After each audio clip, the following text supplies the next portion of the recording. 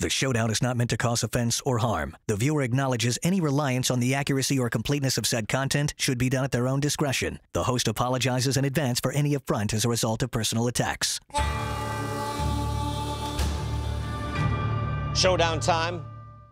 Jon Heyman is with us. Let's kick it around a little bit. Good series start. There's some good series and there's some interesting series starting uh, tonight. Cards and White Sox uh, a bit off the radar. Both are 15 games below 500. Which of these clubs or both should blow it up? Uh, first of all, I'm shocked. I do think the Cardinals do need to sell. They never sell. Remember a couple years ago when everyone thought they were going to sell and they went and got Lester and Happ and they ended up running off, I don't know, was it 17, 18 wins in a row, made the playoffs. Uh, they don't sell, but they should sell and the White Sox should sell. I do believe from what I'm hearing, the White Sox will sell. I don't know that either's going to blow it up, as you say. I don't think it's a terrible idea. You know, if you're the White Sox, I don't think it would be terrible if they traded Cease. Other people are saying, you, well, you can't trade Cease. I think they hold on to Cease, Robert, Vaughn, and Jimenez, and everybody else is available. You see, the White Sox, though, they have never demonstrated that this unit can win even yeah. with all the talent. And like so, like at, at, a certain point, like what do you do? Even though Luis Robert is your superstar, you're building around him. Eloy Jimenez was supposed to be your superstar. I love the guy, put him in my top tens all the time. But at a certain point, it's like this unit is not winning. And then what would you get for Tim Anderson? Even at this point, right? You're no, selling no, low on nothing him. for Tim Anderson at this moment. I mean, great player, but he's obviously not having much of a year, mm. so you wouldn't get anything for him.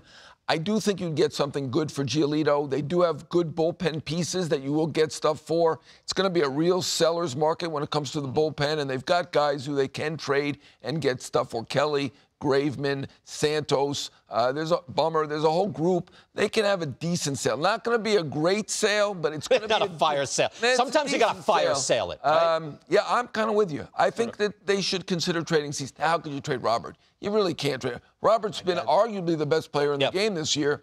Well, he has the top WAR among position players, right? So I don't blame them for holding on to Robert. I think I would go a step further. They're going pretty far. Mm-hmm. Step further and trade Cease or yeah. consider it. By the way, remember the famous white flag trade that was? Yes. They, were, they were three and a half out. They're eight and a half out. They were they were close last year too. Like right. toward the end, they saw here at 1997. Turns out like the White Sox was a pretty good trade for the White Sox. I got Keith Foulke.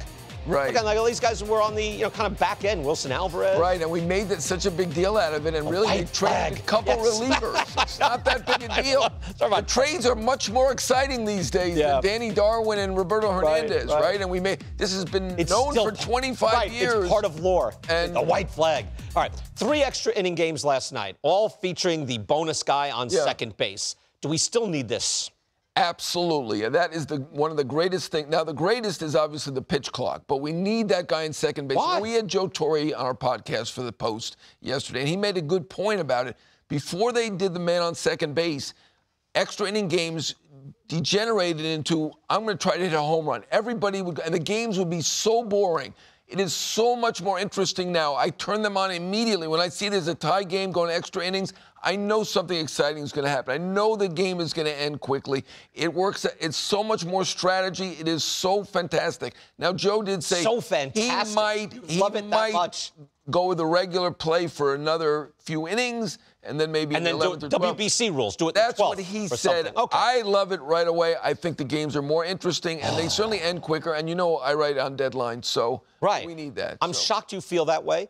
I think the main thing was length of game, which they fixed. Right. No longer an issue. Poof. One year, pitch timer, boom. I, everything's good. So what, what's what's the fear of a, an 18 inning game or a 15 inning game? The game is more interesting now. We have all these discussions about the strategy. Should the guy bunt with a guy on second? Isn't it Should an he, artificial he imposition, right... though? Hey, a guy on second, then you have a reliever come little, out and he gives it up. Eh. It's a little artificial. It's not as it bad as pandemic the, uh, baseball, as Jon. the shootout. Jon, it was, it was in pan- soccer. I don't hear anybody complaining about that. Shootout stink. Shootouts stink oh, well, in I, soccer. I, have always complained I've heard about somebody them. complain about it now. You're the first. You're the one. In other words, ridiculous. That World Cup final, right. they'll do a shootout. Like, yeah, where's everybody going? Is that a high school game? It's not getting dark. Like, this is it. Yeah, and I, they have a shootout. I, would play that out till sudden death. Uh, yeah, you keep yeah. on play. I, I just think like they they nip this in the bud. They got the, the time down on it. It seems and 18 innings to me are exciting, but I would be willing to compromise if you go 12 since you. Well, Joe is with you on that one. I, I go, go right all away. That's fine. All Star game. Now we, we can't go back to when the leagues hate each other, right?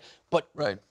Could something be done to tweak it to give it a little more of an edge? Could something be done? Well, I liked it when the game counted, and uh, You see, now, did you say that at the time? I was, the, I was on an I island did. for years saying, I like when it counts. I was like, oh, it's what a joke, it counts. Yes, it's a better game. well, it was an island of two. You and I were You- both we were on, on it. Okay, I didn't realize you were on this island, island. but Yeah. not uh, solo. Not Long Island. Not, not a Long Island. We're all from Long Island, but. Yeah, I, I liked it when it counted. I think the players were more into it. It meant something. And uh, I Is it possible that is? Are, do you know? Are there? Is there anybody in the league that likes that idea still? Because it's I just don't not know that, up. but my assumption is you and I are the only two people in the world who like that. Every time I brought it up this week, they go, "Yeah, no, I really like that." Now they didn't at the time, but they liked it. They like No, it only two now. people liked it, That's me it. and you. That's it. It's not coming No, it's back. not true. It's no. it's- uh, Don't don't say that. It will come back. Look, I think the pitch timer has given us uh, uh, all Yeah. the uh, framework to think. Hey, you know what? If you want to tweak something in this sport, you can and make it better. I think that would make the All Star game better. Otherwise, you're looking forward to the home run derby, and the game itself is Right. anticlimactic. And they're not going to tweak it back. You can tweak it back. You could tweak it could back, but I don't back. think they're going to tweak it back. It's a small island.